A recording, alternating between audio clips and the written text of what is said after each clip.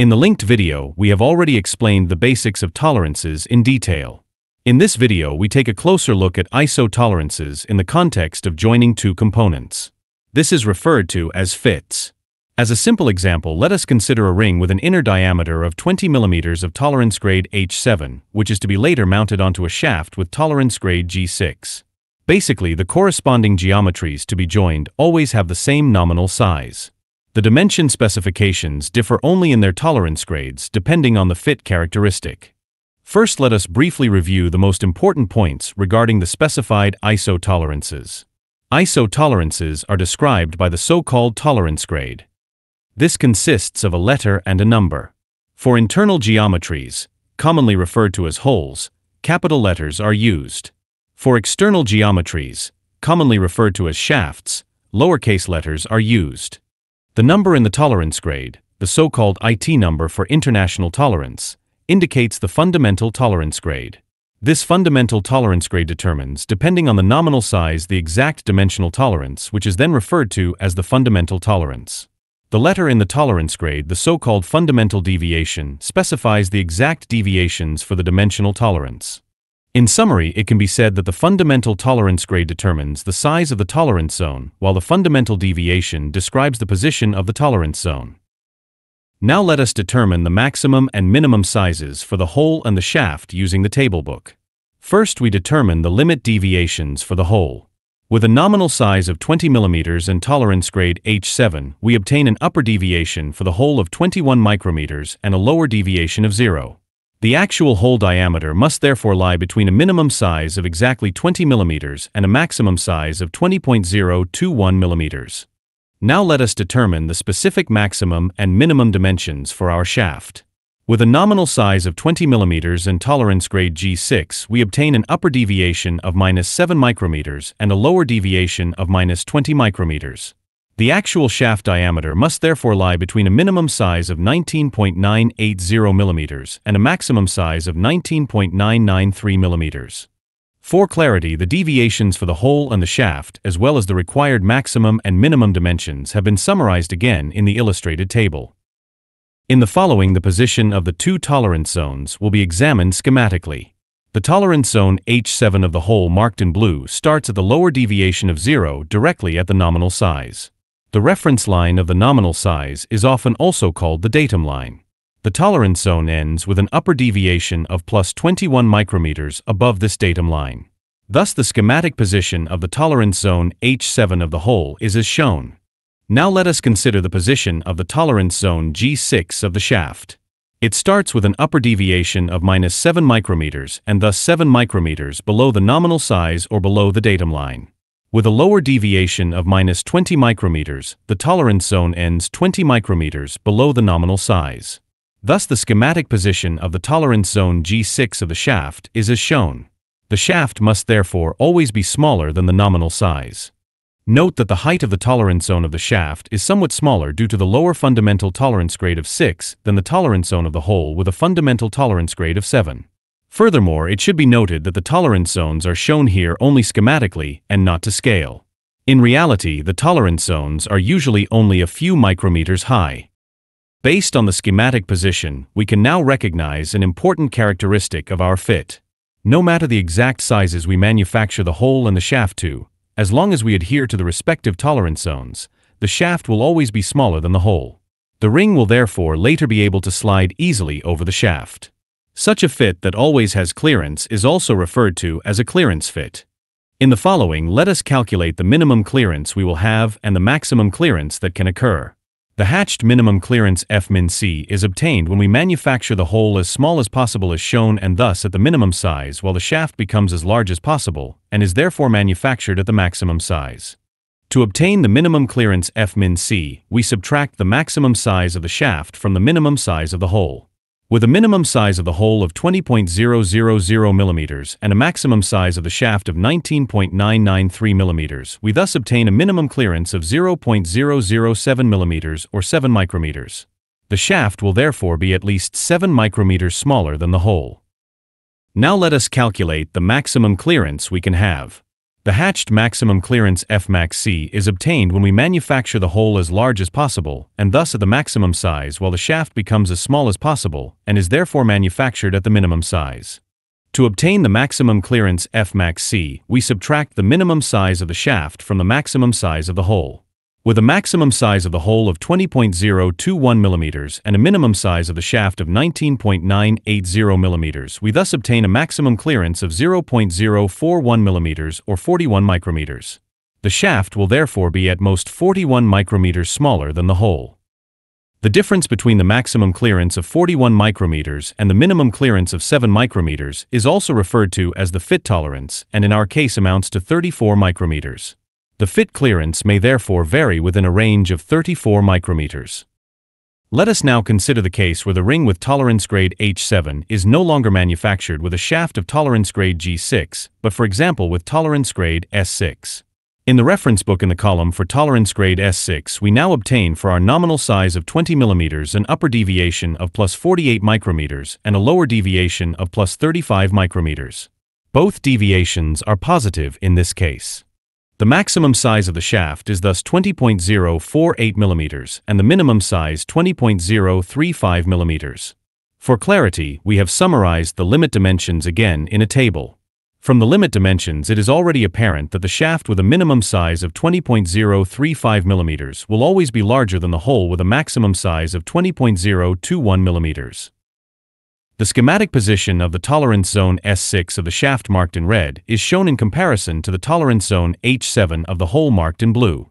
Based on the schematic illustration, we can clearly recognize an important property of this type of fit. No matter what specific actual sizes we manufacture the hole and the shaft with, as long as we adhere to the respective tolerance zones, our shaft will this time always be larger than the hole. The ring must therefore later be pressed onto the shaft with greater force. Sliding the ring on the shaft is then no longer easily possible. Since the size of the shaft will always be above that of the hole, such a fit is also referred to as an interference fit or press fit. In the following let us calculate the minimum interference we will have and the maximum interference that can occur. The hatched maximum interference Fmax-I is obtained when we manufacture the shaft as large as possible as shown and thus at the maximum size while the hole becomes as small as possible and is therefore manufactured at the minimum size. To calculate the maximum interference Fmax-I, we subtract the minimum size of the hole from the maximum size of the shaft. With a maximum size of the shaft of 20.048 mm and a minimum size of the hole of 20.000 mm, we thus obtain a maximum interference of 0.048 mm or 48 micrometers. Note that in contrast to clearance, interference is usually given as a negative value. In this case, the maximum interference is not calculated as the difference between the maximum size of the shaft and the minimum size of the hole, but rather the other way around, that is as the difference between the minimum size of the hole and the maximum size of the shaft. The smaller value is subtracted from the larger one, and this automatically results in a negative value for the interference. The maximum interference is therefore minus 48 micrometers. Let us now calculate the minimum interference we will have. The hatched minimum interference F-min-I is obtained when we manufacture the hole as large as possible and thus at the maximum size while the shaft becomes as small as possible and is therefore manufactured at the minimum size. To calculate the amount of the minimum interference, the minimum size of the shaft must be subtracted from the maximum size of the hole. However, in order to again obtain a negative value for the interference, we reverse the values and subtract the maximum size of the hole from the minimum size of the shaft. With a maximum size of the hole of 20.021 mm and a minimum size of the shaft of 20.035 mm, we thus obtain a minimum interference of minus 0.014 mm or minus 14 micrometers. The interference of the present fit, therefore, lies between the maximum interference of minus 48 micrometers and the minimum interference of minus 14 micrometers. The difference between these two values again corresponds to the fit tolerance, which in this case is 34 micrometers, within which the interference may vary. Let us now consider the case in which the ring with the tolerance class H7 is no longer manufactured with a shaft of tolerance class S6, but for example with tolerance class N6. In the reference table in the column for tolerance class N6, we now obtain an upper deviation of plus 28 micrometers and a lower deviation of plus 15 micrometers for our nominal size of 20 millimeters. The maximum size of the shaft is therefore 20.028 millimeters and the minimum size is 20.015 millimeters. The limit dimensions are again summarized in the table shown. In addition, we have schematically illustrated the orange-marked tolerance zone N6 of the shaft in comparison to the tolerance zone H7 of the hole. In comparison to the clearance fit, in which the tolerance zone of the shaft lay entirely below the tolerance zone of the hole, and in comparison to the interference fit, in which the tolerance zone of the shaft lay entirely above the tolerance zone of the hole, the tolerance zones now overlap. The present fit therefore exhibits characteristics of both a clearance fit and an interference fit. In one extreme case clearance results, in the other extreme case interference results. The ring can later only be pushed onto the shaft with increased force. Shifting or rotating the ring on the shaft may still be possible with greater force. Since the fit can result in either interference or clearance, it is referred to as a transition fit. Next, let us calculate, based on the dimensional limits, both the maximum possible clearance and the maximum possible interference. The maximum interference Fmax occurs when the shaft is manufactured as large as possible, while the hole is made as small as possible. The formula used to calculate the maximum interference is the same as for the interference fit, again considering that interference is typically expressed as a negative value. With a minimum hole diameter of exactly 20.000 mm and a maximum shaft diameter of 20.028 mm, we obtain a maximum interference of 0.028 mm or 28 micrometers. Now let us calculate the maximum possible clearance in the opposite extreme case. The maximum clearance Fmax C occurs when the hole is manufactured as large as possible and the shaft is made as small as possible. The formula for calculating the maximum clearance is the same as used previously for the clearance fit. With a maximum size of the hole at 20.021 mm and a minimum size of the shaft at 20.015 mm, we get a maximum clearance of 0.006 mm or 6 micrometers. Thus, in one extreme, there is a maximum interference of 28 micrometers, and in the other extreme, a maximum clearance of 6 micrometers. The tolerance range in this case is 34 micrometers, within which either clearance or interference may occur.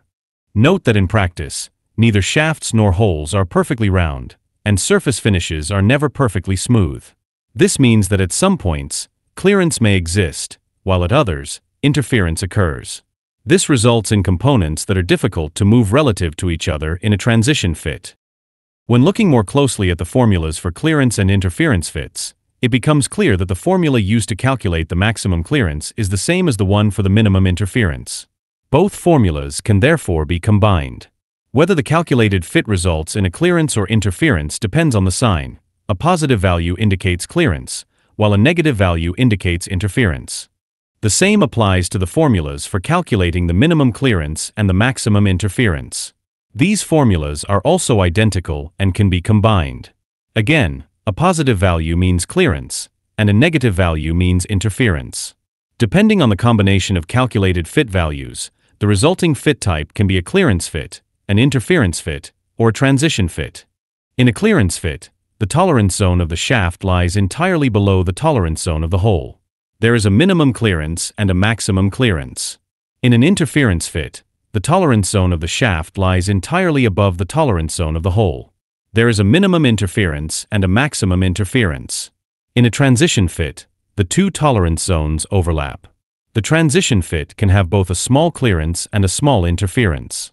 Therefore, there is a maximum clearance and a maximum interference. Let's consider a small example. A 70 mm wide plate with tolerance grade H6 is to be fitted with a guideway of tolerance grade K7. The question now is, which type of fit applies in this case, without closely examining the position of the tolerance zones? To answer this, we first read the limit deviations for the respective tolerance zones from the tables and determine the maximum and minimum sizes of the plate width and the guide width. It's important to note that the plate, with its outer geometry, corresponds metaphorically to a shaft, while the guideway, with its inner geometry, corresponds to a hole. We won't go into detail on how to read these values here. Use this as a practice and look up the values yourself in the tables. Using the values from the tables, we get a maximum shaft size of 70 mm and a minimum of 69.981 mm. For the hole, the maximum is 70.009 and the minimum is 69.979 mm. Now, we simply calculate the values using the given formulas. The formula on the left, calculating the difference between the maximum size of the hole and the minimum size of the shaft, gives plus 0.028 millimeters. This is a positive value, which corresponds to a maximum clearance. Next, using the formula on the right, which calculates the difference between the minimum size of the hole and the maximum size of the shaft, we get minus 0.021 millimeters. This is a negative value, corresponding to a maximum interference. In total, we have a maximum clearance of 0.028 millimeters and a maximum interference of minus 0.021 millimeters. This means it is a transition fit. If both values had been positive, we would have had a maximum and minimum clearance, thus a clearance fit. If both values had been negative, we would have had a minimum and maximum interference, and therefore an interference fit. This shows how we can directly determine the fit type based on the signs of the calculated values. In the next video, we will take a closer look at the systematics behind the fundamental deviations represented by the letters within a tolerance grade for holes and shafts. We will see how the letter combinations result in different types of fits such as clearance fit, transition fit, or interference fit. Along the way, we will get to know two important basis systems that are used in practice, the hole basis system and the shaft basis system. Additionally, it will be shown how the dimensional accuracy of fits can be easily checked using special gauges called plug gauges and ring gauges.